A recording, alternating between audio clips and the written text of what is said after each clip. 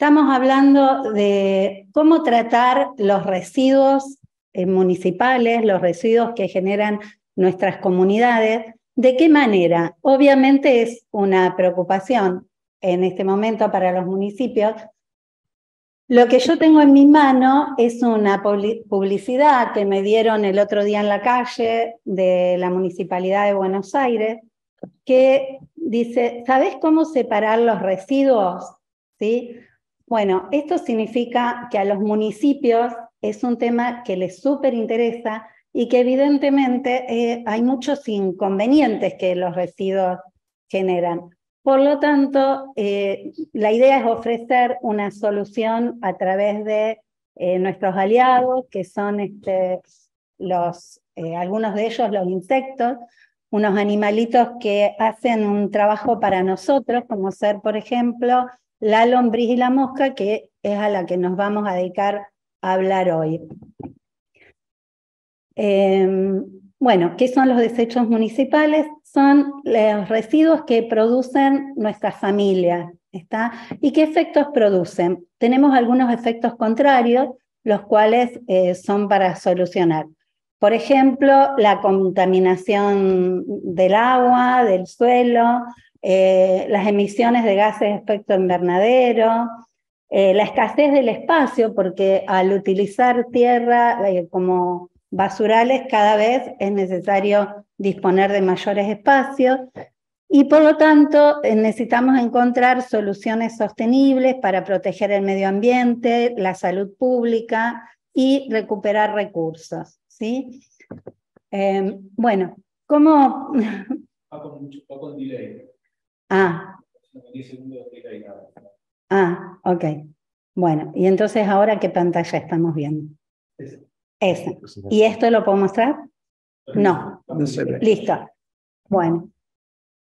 Eh, yo voy a ir muy rápido porque la idea de esta presentación es eh, lograr más interrogante eh, y, bueno, nuevos planteos, aunque la idea es que los residuos necesitan tratarse hoy, o sea que si no es ahora, ¿cuándo?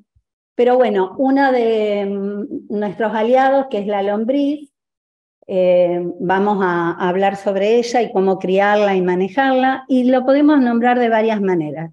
Lumbricultura, lombricultura o vermicultura. La palabra, normalmente, ustedes ven que está subrayado, decimos lombricultura, pero también del derivado vermicultura eh, se deriva la palabra vermicompostaje, que también es muy utilizada.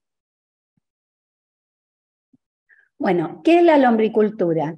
La lombricultura es una biotecnología que se aplica a diversas operaciones realizadas con la cría y producción de lombrices epígeas. ¿Qué significa lombrices epígeas? Que están eh, en los primeros centímetros del suelo. Y la biotecnología implica que utiliza como herramienta a eh, eh, seres vivos, ¿no? En este caso puede ser la lombriz o la mosca.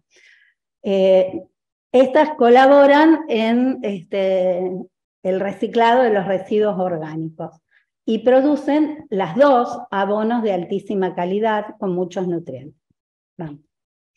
Bueno, ¿cómo es la lombriz roja? Para utilizar cualquier tipo de herramienta debemos eh, conocerla. La clasificamos de acuerdo a cómo comen, a qué profundidad se encuentran y al tamaño de sus individuos. La lombriz epigia, la roja californiana, que se denomina así porque el primer estado que se utilizó, el primer lugar donde se utilizó la lombriz roja californiana fue exactamente California. Y se alimenta de material en descomposición. Bueno, las características externas de la lombriz que son, hoy son, están en cualquier jardín, uno le coloca un poco de alimento, son cosmopolitas, ya pertenecen a, nuestro hábitat natural. Tienen un, infinidad de anillos, segmentos anillos, tienen un orificio anal por el cual excretan el humus, que va a ser nuestro, uno de nuestros productos, que es el fertilizante. Tienen un clitelo, que es su órgano reproductor. La lombriz eh, coloca, eh, se reproduce cada seis o siete días, y coloca dos huevos por, este, cópula. Ahora lo vamos a ver más adelante. Y tiene una boca. La lombriz no tiene ni nariz ni ojos. Decimos no tiene nariz, ¿por dónde respira? Respira por su piel. De ahí es que es necesario que eh, su cuna, su lecho, tenga un cierto grado de aireación. Bueno, decíamos hace un ratito que habita en los primeros 50 centímetros del suelo. Esta es una lombriz que vive en la comida, no es una lombriz de tierra, vive eh, solo en su lecho donde hay comida. Si no hay comida, tiende a irse. Si bien es una lombriz sedentaria, eh, la podemos manejar con la luz, acá decimos que es fotofóbica, quiere decir que la luz le hace daño. Al ser sedentaria, la lombriz eh, toma su lecho como su casa. Hay una serie de, de momentos en que puede querer irse. Una, si hay tormenta, rayos, demás, eso las asusta y puede querer escaparse de la cuna. Eso lo manejamos dándole una comida que les gusta mucho y que las distrae, como ser café, yerba y demás. Y, este, y el otro motivo es cuando mudamos la lombriz de cuna. Entonces, esto que es fotofóbica lo podemos utilizar a nuestro favor em, poniéndole una luz artificial durante tres o cuatro días en la noche hasta que ella incorpora esa nueva, ese nuevo hábitat como propio. Entonces, allí eh, se, se, queda. Otro de los temas acá dice, digiere eh, las partículas vegetales o animales en decomposición y vuelve a la superficie a expulsar su producto, que es el humus. Ella expulsa humus cada aproximadamente 30-45 segundos y come de abajo hacia arriba. Si bien se desliza de manera horizontal para acabar túneles, come de abajo hacia arriba. Bueno, eh, ciclo de vida. Las lombrices son hermafroditas, quiere decir que tienen los dos sexos, eh, femenino y masculino, pero para aparearse se colocan en direcciones opuestas unas contra otras. Allí hay una figura que es una foto del huevo, es un cocón, el cocón tiene aproximadamente de 2 a 22 lombrices que producen un lapso de 20 días. ¿sí? Es eh, un circuito, un círculo del desarrollo, del acoplamiento, eh, hasta la eclosión de los huevos que se da a los 90 días. Por eso la reproducción de la lombriz es exponencial. ¿sí? Vamos. Bueno, la lombriz adulta mide, llega entre 3 a 8 centímetros de largo y de 3 a 5 milímetros de diámetro. Su promedio es un gramo, eh, el promedio de peso, con lo cual además ella come su propio peso por día. Quiere decir que si llega a pesar un gramo o tenemos un kilo de lombriz, van a comer y procesar un kilo por día. ¿sí? Vamos, eh, perdón, me quedó un punto ahí, las enfermedades. Eh, las lombrices son tremendamente inmunes, no se les reconoce enfermedades, eh, solo que si come proteína en exceso, sí las daña, pero no hay manera de enfermarlas ni de envenenarlas, porque ellas van modificando su medio. Quiere decir que si su entorno no está apto para ser comido porque tiene veneno, porque está intoxicado con salmonela o eh, simplemente no está compostado, ella a través de sus secreciones lo va a ir transformando y lo va a comer, que come a través de succión, eh, lo va a ir succionando cuando esté listo. Por eso también la consideramos que es una gran transformadora del medio, ¿no? De allí que produce el humus. Y si la cortamos, la seccionamos, se regenera. La lombriz tiene, avancemos. Bueno, vive en cautiverio sin fugarse de su lecho, como les había dicho antes, y mucho de esto tiene que ver que es fotofóbica, no dura más de 3 a 5 minutos a la exposición de la luz. Eh, decíamos antes que es muy prolífera y llega a vivir hasta 16 años. ¿ah? La capacidad reproductiva es muy elevada y eh, si arrancamos con un kilo de lombriz, mil lombrices, equivalente a mil lombrices, en un año tendremos aproximadamente 10 millones de lombrices, con lo cual procesarán aproximadamente unas 240.000 toneladas y ciento, producirán 150.000 toneladas de humus. Esto para un municipio, eh, teniendo en cuenta que se arranca con un kilo de lombriz, es, digamos, una propuesta bastante interesante. Bueno, se alimenta con mucha voracidad y come los desechos de estiércoles, residuos agrícolas y sobre todo este es otro punto importante, que es desechos orgánicos de las industrias. Eh, cualquier industria puede generar una nueva unidad de negocio y producción a través de eh, reciclado de sus residuos, inclusive sin transportarlos en su mismo espacio, y también eh, producir inclusive huertas orgánicas y alimentación para sus trabajadores. Bueno, Mm, por supuesto que si esta se encuentra en condiciones eh, de hábitat eh, ideales, eh, va a producir mucho más, ¿no? necesitamos una humedad de aproximadamente el 70%, que, este, ¿cómo logramos eso? Obviamente con riego, y es fácil de detectar, porque si tomamos en un, puño un, poco de, tierra fértil de humus, eh, no debe chorrear, debe solo gotear. Así, con esa maniobra sencillita, podemos eh, captar si la cuna está en, humedad adecuada. La temperatura, hay muchas formas de mm, bajar y subir la temperatura de una cuna. El ideal es entre 12 y 25 grados. Y también decíamos antes que como respira por su piel necesita eh, aireación. ¿no?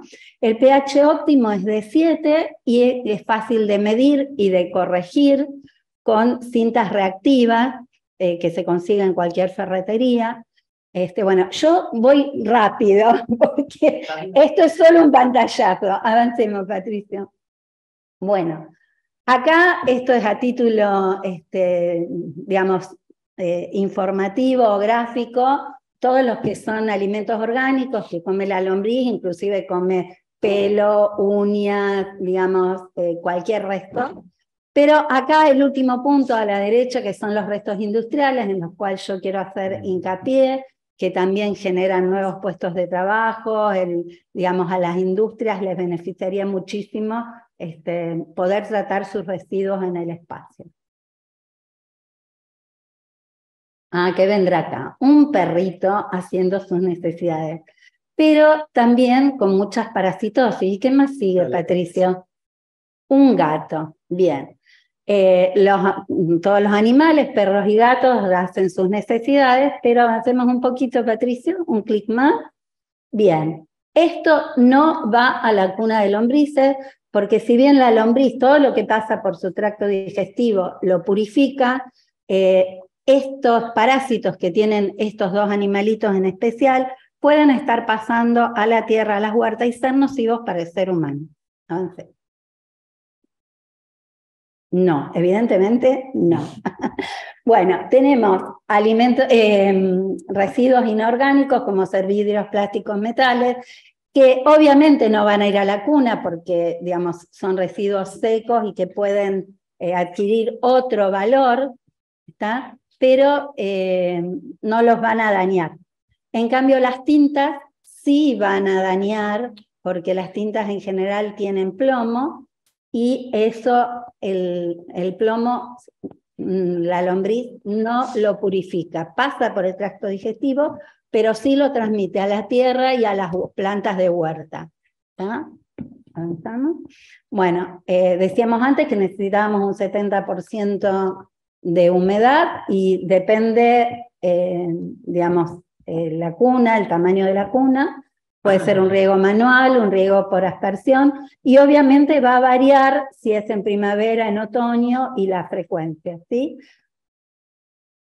Bueno, la lombriz se puede compostar el alimento antes o no compostar, por esta característica que decíamos que ella va transformando su medio. Y una forma de mantener la aeración es ir agregándole eh, frecuentemente alimentación nueva.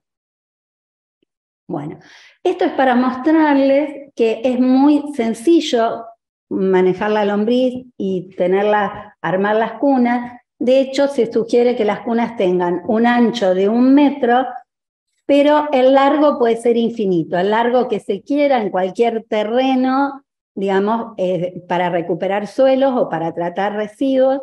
y la lombriz prácticamente es una herramienta que no se manipula, no se toca.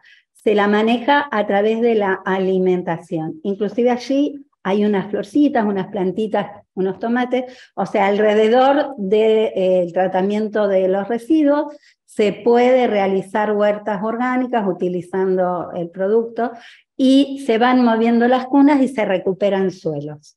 ¿Avanzamos? Bueno, esto es para que vean que si concientizamos a, a, los habitantes, a las comunidades, para disminuir también, mm, recoger la cantidad de residuos, eh, los desechos eh, familiares, es muy simple y muy económico poder construir una compostera en casa, ¿no? Y tener humus propio, fertilizante para hacer una huerta o las plantas de los jardines. ¿Avanzamos? Bueno, este es el producto máximo de la lombriz, si bien se puede sacar de la lombriz harina, carne y humus, una de los más importantes, y todo es comercializable, eh, si bien la harina de lombriz tiene menos proteína que la harina de pescado, pero también es muy rica en nutrientes. El, el humus tiene un olor muy agradable, es negruzco y granuloso y es muy rico en nutrientes y tiene una flora microbiana eh, con nitrógeno, potasio y fósforo interesante, muy alto. Bueno, ¿Cómo cosechamos el humus? ¿Cuándo? ¿En qué momento? La lombriz lo procesa más o menos en unos 45 días, 60 días, que también coincide con su tiempo de reproducción. Una de las estrategias es, se suspende la alimentación, se le coloca una nueva cuna al lado, donde, eh, digamos, se suspende la alimentación, el riego, y se le coloca alimento nuevo, y ella solita deja su hábitat antiguo y va a donde está eh, la comida. Como decíamos al principio de la charla, es una lombriz que vive en su comida. Ese es su hábitat y recalco, no vive en tierra. Bueno, muchas gracias por su atención. Espero haber este, generado muchas preguntas y muchos interrogantes eh, la idea es que vean que es muy eh, sencillo, muy sencillo eh, tratar los residuos en el lugar y a través de insectos. me gustaría, le quiero pasar la palabra al ingeniero Carlos Cohen, que va a hablar de la mosca y también decirles que la mosca, ¿por qué charlamos hoy de mosca y lombriz? Porque entre las dos hacen un buen trabajo complementario. Yo antes que empiece Carlos, digamos, vamos a hacer las preguntas, si les parece, al final. ¿sí? Hacemos las preguntas al final, hablamos de la mosca, la lombriz, y para que se saquen todas las dudas y cómo se puede aplicar en el municipio, cómo se puede hacer y demás. Y van a quedar, por supuesto, los contactos de la cooperativa de ingenieros y también va que vamos que estamos grabando esto, con lo cual vamos a estar pasando a todos la, grabación y los contactos y demás. Así que dale, Carlos Tomás. Bueno, Patricia, pasame mi, mi PowerPoint. Bueno, ahí mientras Patricio pone el PowerPoint, yo decirles que, que está muy bueno esto de la mosca, la verdad ha sido muy novedoso y, y se está haciendo en otras partes del mundo, con lo cual eh, está bueno que lo tengamos acá en el país como opción. Pero adelante, Carlos. Bueno, sí. Eh, lo que está saliendo como más novedoso es el tema de la mosca y por las características que tiene, ahora cuando vean, digamos, cómo es el ciclo de la mosca, van a, se van a dar cuenta de lo productiva que es. Eh, lo que se está buscando, digamos, con esta charla es un poco eh, no solo tratar el residuo, sino de poder, de poder generar, este, generar fuentes de trabajo y generar emprendimientos eh, productivos del tratamiento de los residuos. Pasemos a la primera. Eh, en, esta, en esta parte lo que puse son una serie de problemas que tenemos, que tenemos todos, eh, porque están todos ligados. Tenemos cambio climático y el, y el problema que generan los residuos al no ser tratados, que si, se, que si pasan a tener un, un tratamiento anaeróbico y no se aprovechan, digamos, genera gases de efecto invernadero como es el metano. Eh, em, esto es importante, digamos, el, el SEAMSE acá en Buenos Aires produce metano y genera energía, pero digamos lo, lo, lo, tiene planificado, tiene grandes cantidades, todo el cordón, todo el cordón este, y de Buenos Aires eh, ahí produce mucho, mucho residuo. Em, el segundo tema es la degradación de la tierra y la desertización. La provincia de Buenos, de Buenos Aires está teniendo problemas de desertización, aunque uno no lo quiera creer.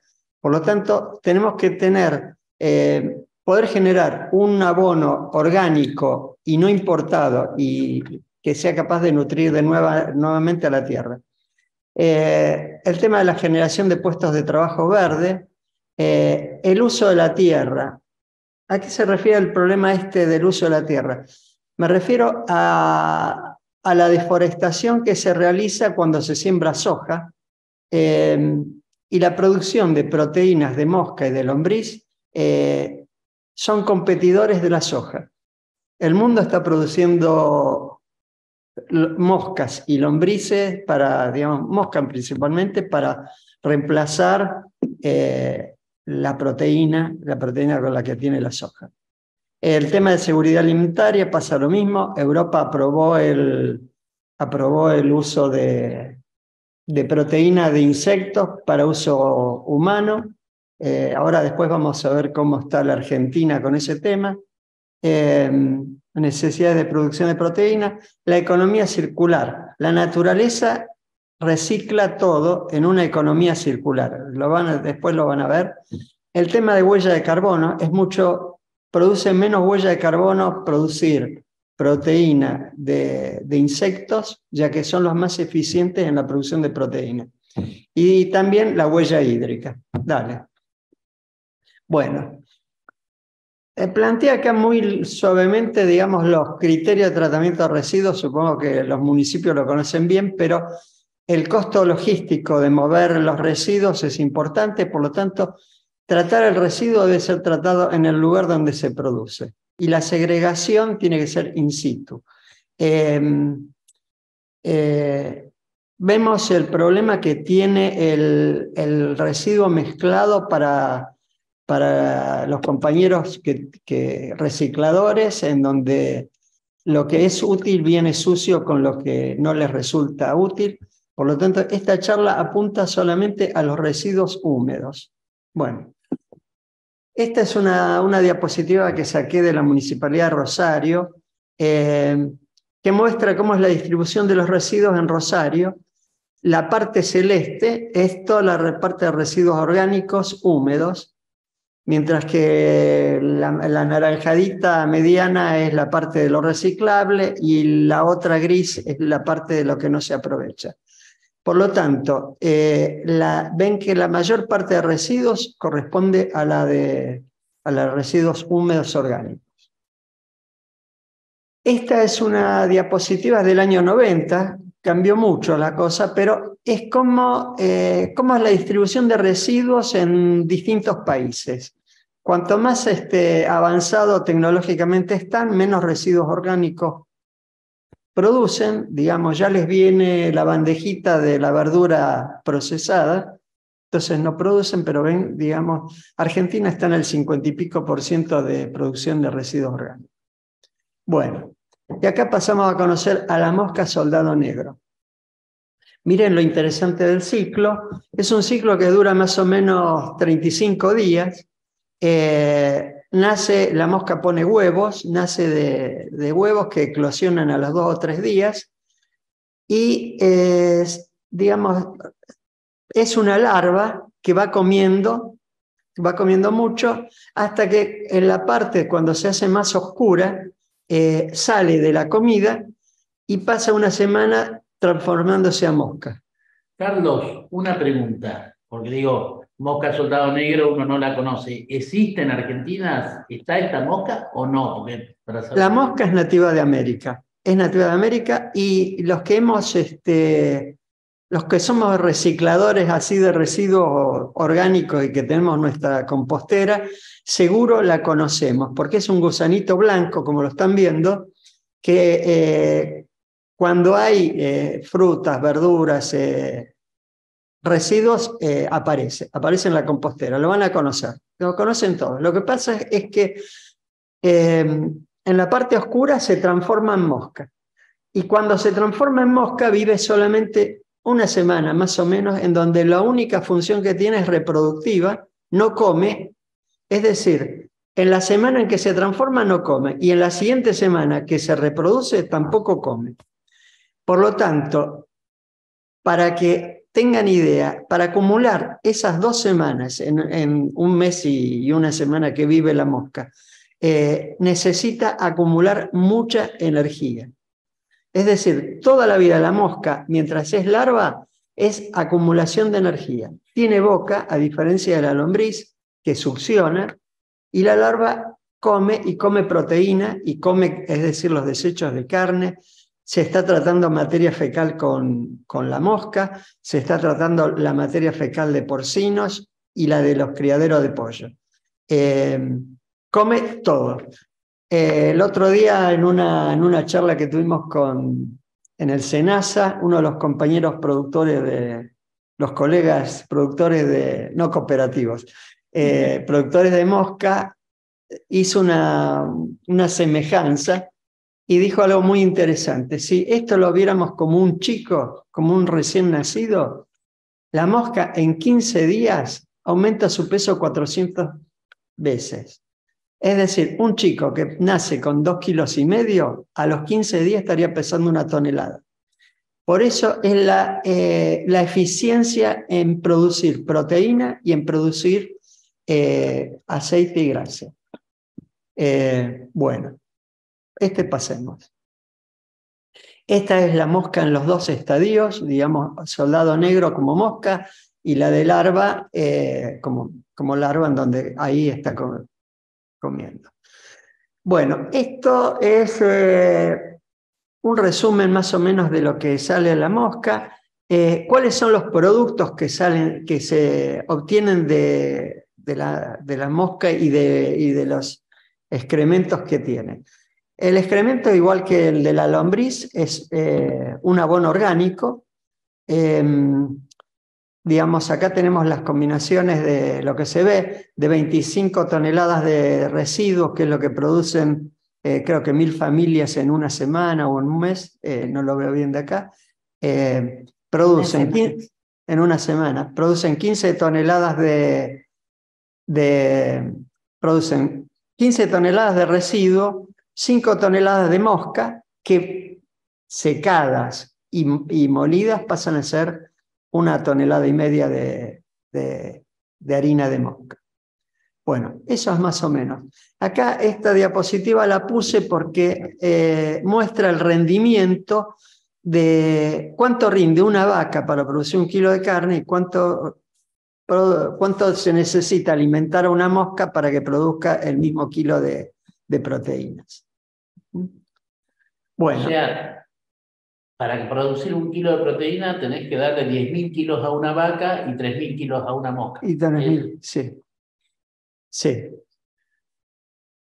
Bueno, em, acá este, los productos que obtenemos de la mosca, ¿cómo, se utiliza la mosca? En el estado de larva se puede vender viva para alimentación de pollos, porcinos y peces. Eh, como harina se usa como complemento en donde se aditiva proteína eh, para hacer harina. Eh, el otro que dice...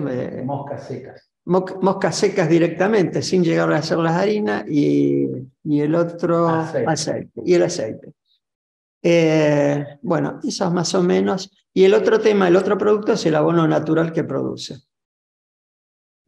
Bueno, acá veo menos todavía. Estas son las empresas, las empresas que producen en el mundo y se los pongo para que hoy en día con Internet todos pueden llegar a, a, googlear y a ponerse a ver qué es lo que está pasando en el mundo.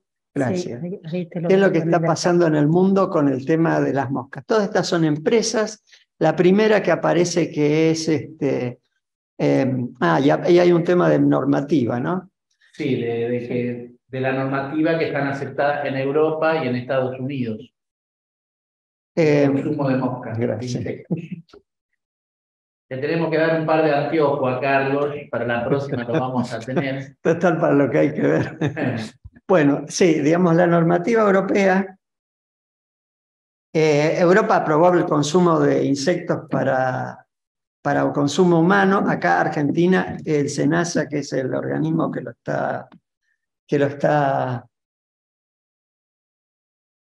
es un video. estamos en video. Ah. ¿En qué filmina está? Eh, y fíjate, avanzar. Bueno, a ver. Entonces, eh, bueno, Europa aprobó eso. Argentina está, digamos, más rezagada con el tema de la aprobación por SENASA. El SENASA se está tomando todos los recaudos necesarios. Eh, se armó una cámara que va a controlar la sanidad del, del producto. bueno, SENASA controla tanto la alimentación animal como la alimentación humana, es decir, eh, los animales. Ahí está, gracias.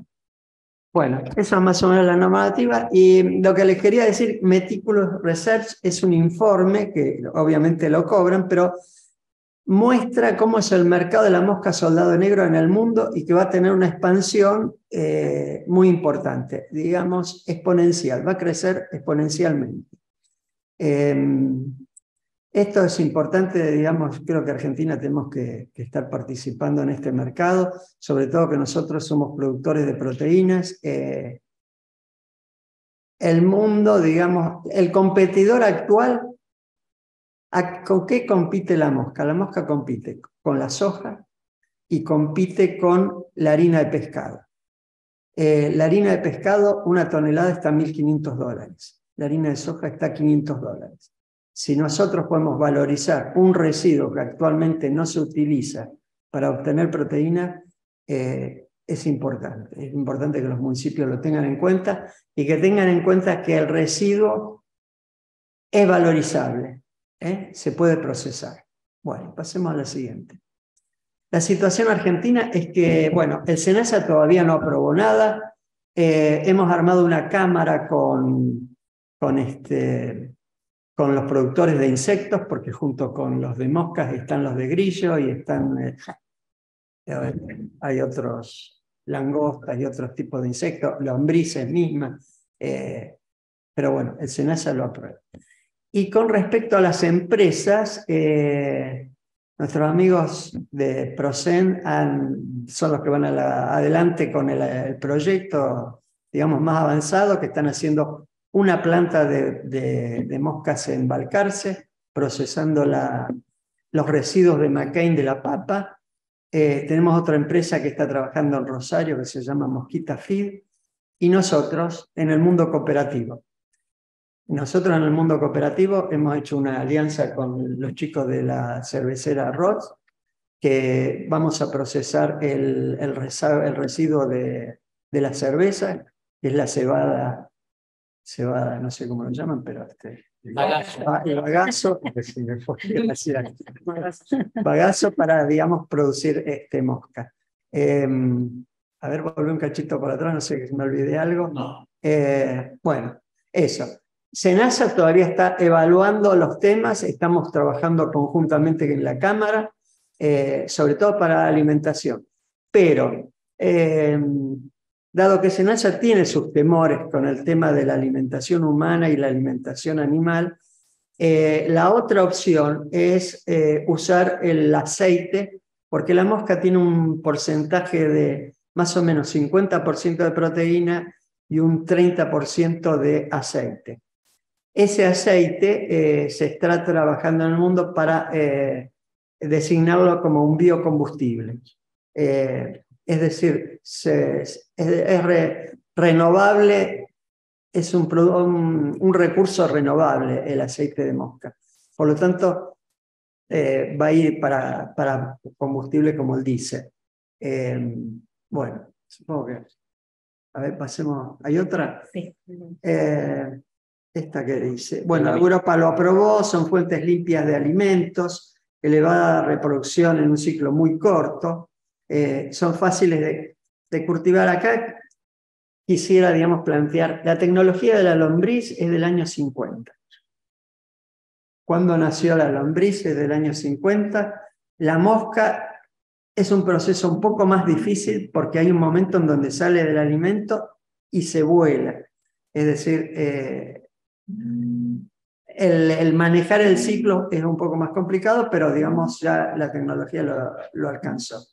Eh, eh, son excelentes para convertir pienso en carne y criar mosca soldado negro es mucho más ético. Eh, su producción reduce la producción de, metano, reduce la presión sobre los recursos cictícolas. Eh, saben, digamos, del problema de la explotación excesiva de los peces. Esto va a disminuir la presión, va a reemplazar la harina de, pescado. Bueno, a ver la que viene, de, dos o tres. Eh, están resolviendo el problema de desperdicio de alimentos y son mucho mejor para el medio ambiente y el residuo que queda contiene eh, un porcentaje importante de NPK, que son los nutrientes que requiere eh, la tierra, las plantas. Acá esto son todas referencias de, lugares donde pueden consultar el tema de la mosca. No hace falta que los lea porque no los leo, pero, pero bueno, el PowerPoint se los vamos a mandar. Se los vamos a mandar, pasa el otro siguiente. Se los vamos a mandar para que ustedes consulten. Eh, Bien, bueno, gracias Carlos. No, no, te quedó otra. Te quedó otra que fue la importante. ah, bueno, Antes de las preguntas. Quedó otra. Sí, diapositiva. Perdón, otra diapositiva, me apuré yo. Me apuré yo. Por el tema de ir a la. Andate a la última. A la última. Eh, eh. Esa, esa muestra, digamos, no, la última, la del, eh, esa muestra lo que es naturalmente, digamos, la comida de, de las gallinas son las lombrices y gusanos, es la larva. bueno. y pasar, pasarte la última, que es la de, ahí está, digamos. Así que ahora las preguntas y no sé si los chicos de la cooperativa.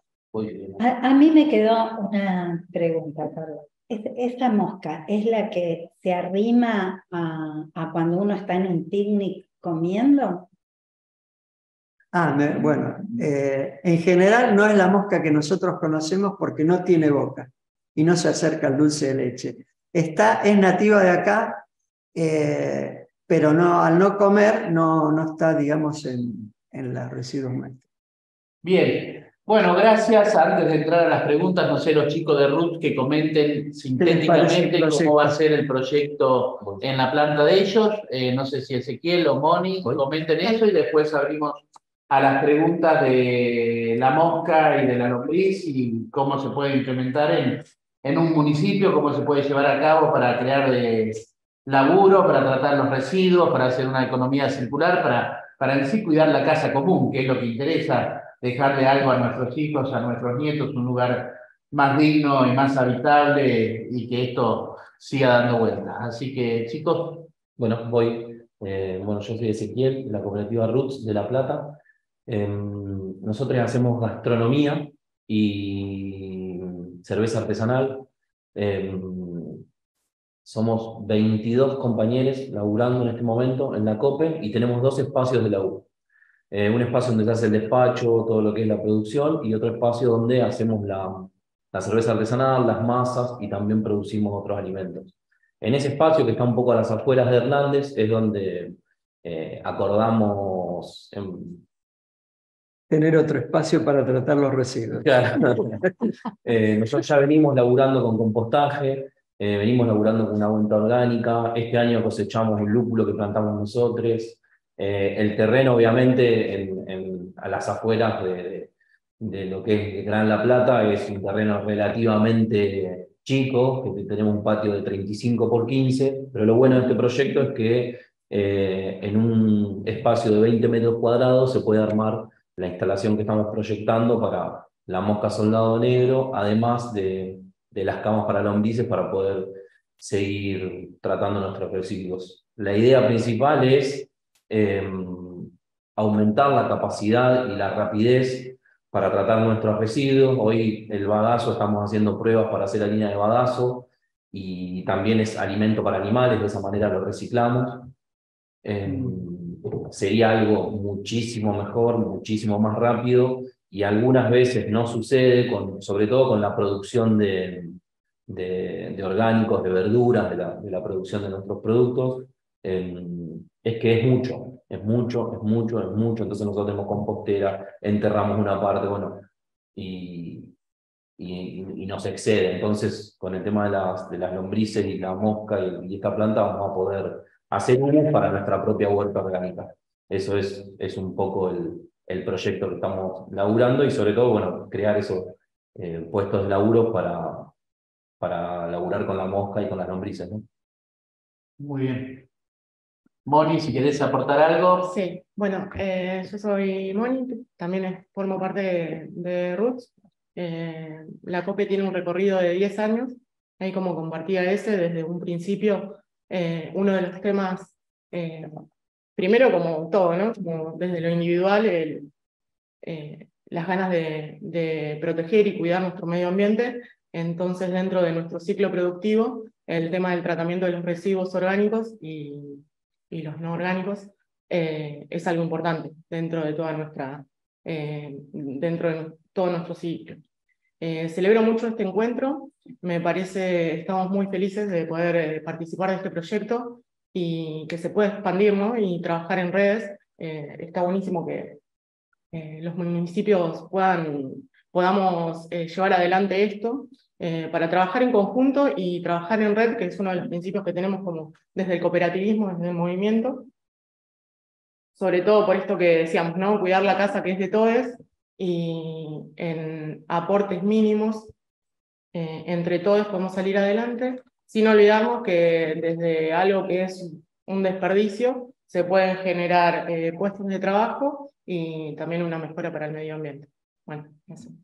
De compartir acá la experiencia. Bien, gracias Moni, gracias a todos. Dejamos abiertos, si les parece, a las preguntas eh, que tengan, las inquietudes. Sí, que veo, bueno, saludar también que se, eh, veo al municipio de Empalme, de Villa Constitución, a, Damián, al municipio de Pico Truncado, de Santa Cruz, también a Fabián Velasco, lo veo de Concordia, Entre Ríos, y se me deben escapar muchos que no los estoy viendo en la pantalla, pero gracias a la participación a, todos los municipios y a las cooperativas, que también hay muchas cooperativas que están eh, participando, como la de San Gregorio, la de Castelli y otras tantas.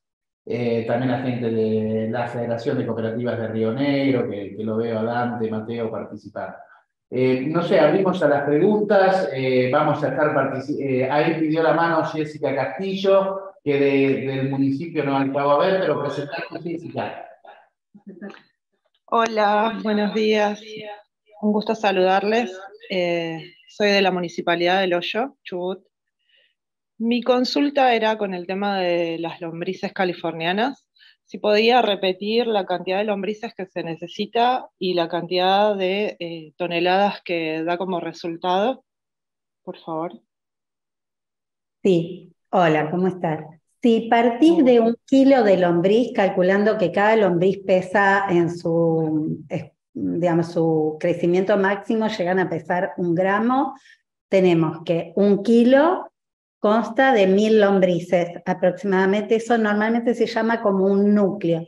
¿sí? Si partimos de mil lombrices, al cabo de un año llegamos a tener mil lombrices, eh, perdón, 10 millones de lombrices que están consumiendo 10.000 toneladas al año, 10.000 kilos al año. ¿Sí? 10.000 kilos. ¿Está? Así era. Perfecto, muchas gracias. Federico eh, Nasecki de, Pero no, de la cooperativa del sitio de Santa Rosa La Paz. Sí. Hola, ¿qué tal? ¿Cómo andan?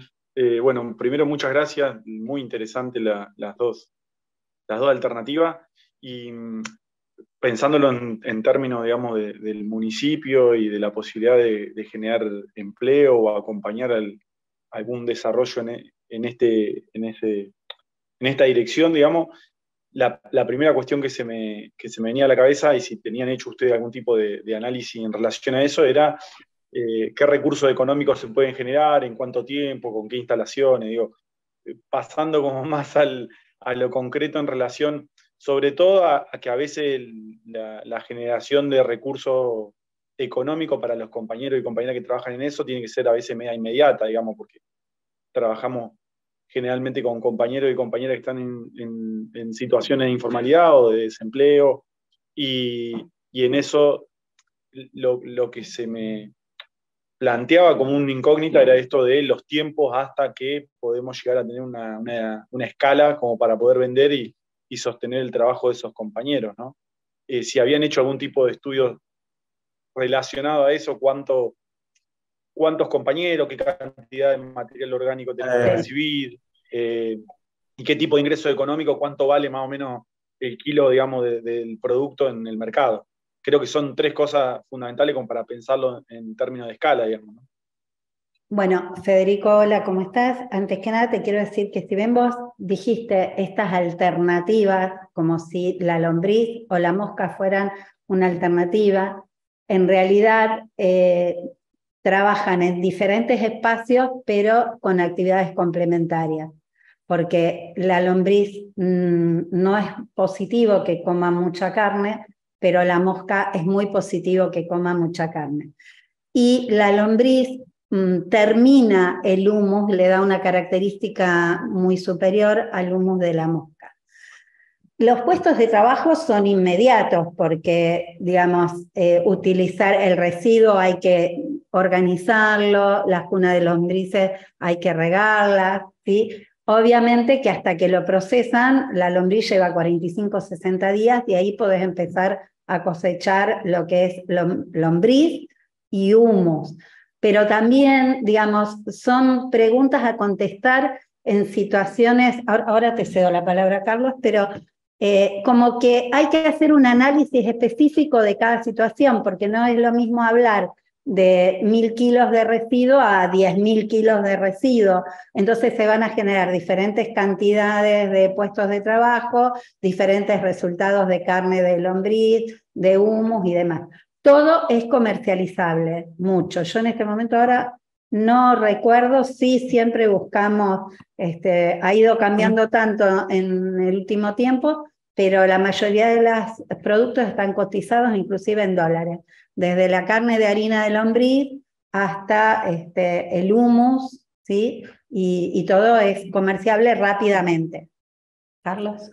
Eh, sí, mira, eh, con el tema de los residuos domiciliarios, eh, lo que estamos pensando y como cooperativas es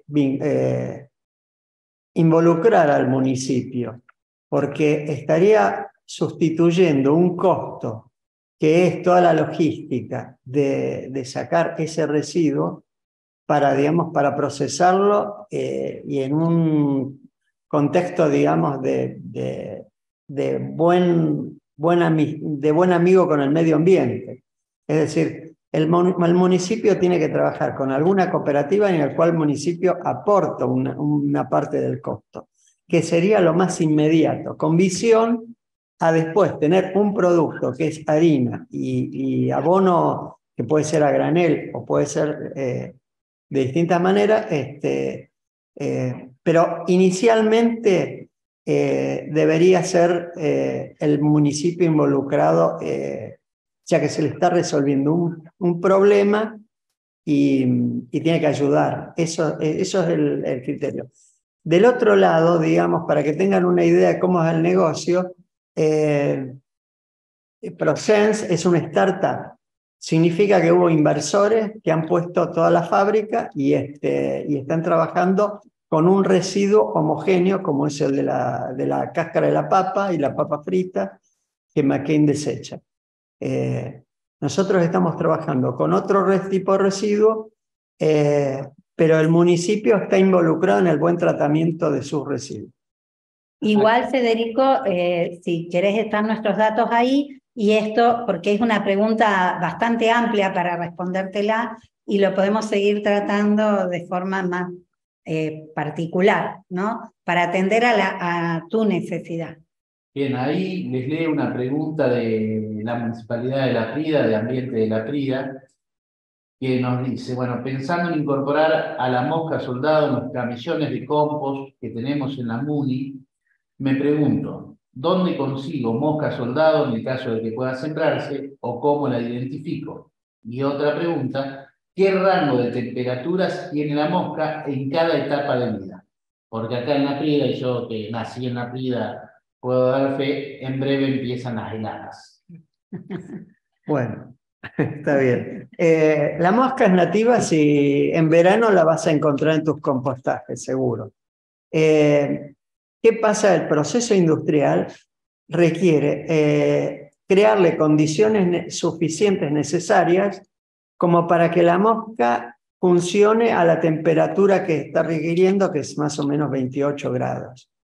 Entonces, digamos, industrialmente le reproducen en su ambiente esas temperaturas, ese, nivel de humedad, ese nivel de pH que requiere la comida, este, eh, eh, digamos. Yo por ahí, Carlos, y teniendo en cuenta la pregunta de ambiente y como se va a hacer en, la cooperativa RUPS, eh, el tema de la cría de la mosca, se hace en un ambiente estanco, no es que vamos a ver la ciudad invadida de moscas, digamos, que se van a escapar y que van a andar volando sino lo que se hacen en un ambiente cerrado, controlado, donde se le va dando la comida a la mosca, por eso Ezequiel hoy refería que en 20 metros cuadrados se puede armar la cría de la mosca, eh, las cunas de la mosca, donde se le va a dar el residuo y, y lo va a ir tratando, ¿no? Eh, eso para, porque siempre está el miedo, digo, bueno, llego al municipio o tratamos con la mosca y después nos encontramos que se invadió a la municipalidad de la mosca y nos quieren matar todos los vecinos.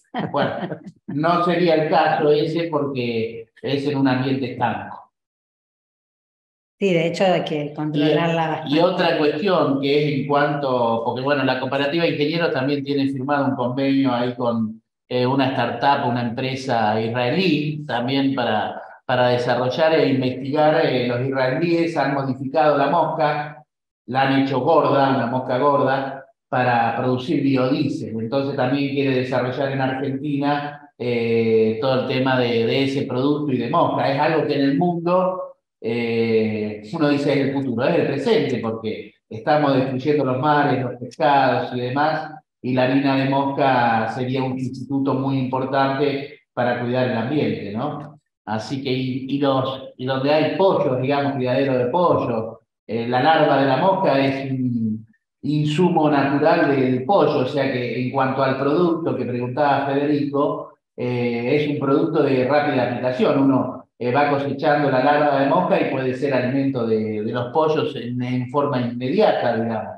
O sea que, que hay muchas, eh, muchas vertientes de, de productos y sobre todo que es basura, que antes se transformaba en basura y que no se trataba, ahora empieza, a ser un producto, ¿no? Que uno le va sacando un rédito y va creando trabajo a través de eso. Así que... es una nueva unidad de negocio. Es una nueva unidad de negocios. No sé si hay alguna otra pregunta ahí. Em, yo capaz una cosita que quería agregar es que, bueno, ni bien terminemos de, armar el proyecto, están abiertas las vías de comunicación de la COPE, incluso los que están un poco más, más cerca poder venir a visitar el espacio, y en esta etapa también de construcción y de investigación, la idea es como, como llegar a un circuito de, reproducción con un caso concreto y, poder compartirlo lo más, lo más rápido posible para, para nada, para eh, una de las cosas que las cooperativas de trabajo tienden a solucionar dentro del mundo capitalista es la cuestión del trabajo, pero siempre con un compromiso con el medio ambiente. que eso es algo muy importante. Y también hago lo que decía Carlos, que, los municipios, eh, además de tener múltiples cuestiones a, solucionar, el tema del trabajo, del medio ambiente y el ahorro, que es el reciclado y el tema de la logística, eh, nada, es, es, es, muy importante y creo que ahí también uno, uno de los compromisos es que en cualquier cosa que se comienza, tanto como municipio, como cooperativa, como grupo precooperativo, es invertir en eso, ¿no? Eh, y esto, esta, este proyecto y, nosotros empezando a construirlo es eh, ser como un puntapié inicial para, para comenzar a laburarlo. Pero bueno, sin sacar de, del eje el tema de la inversión, de comprometerse y decir, bueno, a ver, tenemos que un primer mes no se va a ver un resultado tan tangible, aunque esperamos que sí. Bien, yo no sé si hay más preguntas, siendo siempre tratamos de cuidar el, tiempo, porque sabemos que, que, andamos a las corridas y todos eh, con mil cosas. Bueno, hay otra pregunta. Ah, ahí Pato eh, subió al, al chat los contactos de la cooperativa de ingenieros. Vamos a ir pasando el link para que todos lo tengan y lo puedan compartir. Y sí, Beatriz. Beatriz, una Hola, buenos días. Tengo una consulta. Eh, nosotros estamos acá en Río Gallego, Santa Cruz, y estaba viendo las temperaturas para la procreación de la lombriz. Nosotros llegamos a 15 grados casi en verano. Tenemos temperaturas muy bajas. Y mi consulta es, ¿Qué calidad de lombriz tendríamos? Su reproducción en el frío, el crecimiento, ¿afectan o se reproduce igualmente con temperaturas bajas? Eh, hola Beatriz. Mira, eh, la lombriz en unos 15 grados se reproduce igual, eh, un poco menos. La lombriz siempre come, se puede aletargar en temperaturas mucho más bajas. Aún así hay formas de manera natural de calentar la cuna, ¿no? O sea, se la cubre, se la destapa con diferentes herramientas que también son orgánicas, ¿sí? Por ejemplo, podés utilizar eh, pasto, paja. Eh, de hecho, el compostaje levanta mucha temperatura, o sea que eso se puede manejar y graduar en bajas temperaturas y en altas temperaturas. Y el riego eh, también actúa como un facilitador en mayor o menor escala eh, para mayor o menor temperatura. Digamos, em, como herramienta siempre la podemos adaptar y que trabaje a nuestro favor. ¿Mm? escúchame, te quiero agregar algo. Eh, la, naturaleza trabaja de manera cooperativa. La lombriz no es, sola, no es la única que procesa los residuos. Tenés lo que te dijo recién Olga, eh, las bacterias que, están, que descomponen parte de los residuos y que le hacen falta a la lombriz porque la lombriz lo succiona. Digamos, cuando ustedes ven la verdura babosa, es porque hubo bacterias que estuvieron trabajando eh, y eso genera temperatura que les hace mantener eh, la temperatura necesaria. ¿eh? Si la temperatura es muy alta, se baja regándolo, pero en Río Gallego no les va a pasar eso. O sea que se podría tratar los residuos Perfectamente. Sí, sí, perfectamente. Muy bien. Bien, si no hay más preguntas, y en orden de, los tiempos, eh, agradecerles, bueno, a la cooperativa de ingenieros y a la cooperativa Roots, en representación de Carlos y Olga, de Moni y Ezequiel, agradecerle a todos los municipios y a todas las cooperativas y a las federaciones que estuvieron presentes. Vamos a estar haciendo llegar toda la información. Yo he armado, estoy armando un grupo, con lo cual sé que los voy a molestar mucho, pero les voy a ir pasando toda la información y anunciarles que estamos preparando junto a FESCOE, a la Federación de Cooperativas Eléctricas de Santa Fe y Cooperar, una charla sobre discapacidad y cómo las cooperativas y los municipios eh, pueden trabajar el tema eh, en conjunto, ¿no? Para crear inclusión y ser una oportunidad de trabajo para muchas personas que son totalmente vitales para, para, para la comunidad y que muchas veces no se le da un espacio. Eso lo vamos a estar armando y trabajando en conjunto. Y también prontamente el mes que viene vamos a hacer una charla con una cooperativa de trabajo del municipio de Marcos Paz que ha desarrollado en Argentina el uso LED para la iluminación pública, también de las casas o de los comercios, eh, con industria nacional, a través de un colegio de, chicos egresados eh, que lo vienen desarrollando, con lo cual eso es luces inteligentes, eh, digamos, que permiten ver el, tráfico, la circulación, no sé, de los autos que pasan por el ingreso al, al municipio. Decir, bueno, por tal ingreso, por tal otro ingreso, pongo esa luces inteligente y sé por dónde circulan más autos, en qué horarios y determinadas cuestiones. Sistemas de estacionamiento inteligente, donde las luces tienen, eh, digamos, eh, sensores que permiten eh, con una plataforma ver qué lugar hay libre de estacionamiento en el municipio, en qué cuadra, en qué calle, y uno ahorrar tiempo y, y ahorrarse esas cosas luces que suben la intensidad o la bajan, si hay circulación o no hay circulación, con lo cual el ahorro es muy interesante. Bueno, todo eso lo vamos a estar llevando eh, en el mes de junio. Pero por lo pronto agradecerle, vi que se sumó Mirta Mendoza, de Fernández Oro, la gente de Río Gallegos, y bueno, muchísimos municipios que, que por ahí ahora se me escapan, pero bueno, vamos a seguir en contacto, estamos abiertos a, a todo lo que podamos hacer y desde ya saludarlos y saludarlas y bueno, y seguir construyendo juntos un mundo un poquito, a ver, Pablo, pero yo me despido y Pablo me levanta la mano de Tres Arroyos. Eh, sí, Pablo. Con vos no bueno, buenos días, ¿se escuchan? Ahí. Sí.